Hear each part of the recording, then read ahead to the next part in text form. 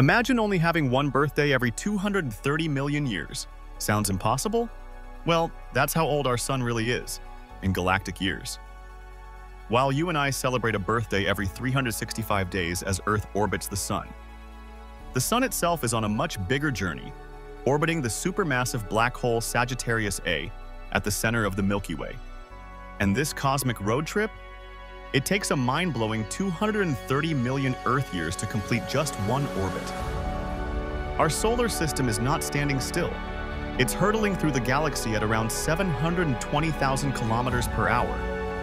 Yet, even at that insane speed, the distance is so vast that the Sun has only completed 20 orbits since it was born. That makes the Sun just 20 galactic years old, and it's already 4.6 billion years old in Earth time. Let that sink in 20 birthdays in 4.6 billion years. If the Sun were a person, it'd still be in its early 20s right now. So, next time you blow out your birthday candles, remember? The Sun is still on its 21st lap around the galaxy, and we're just tiny passengers on this epic voyage through space.